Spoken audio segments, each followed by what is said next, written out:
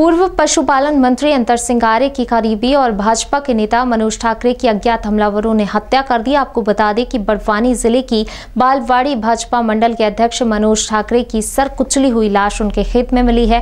वहीं परिवारजनों ने बताया कि वे नित की तरह सुबह टहलने के लिए अपने खेत निकले थे। घटना की जानकारी लगते ही पुलिस मौके पर पहुँची और शव का पंचनामा बनाकर पोस्टमार्टम के लिए भेज दिया।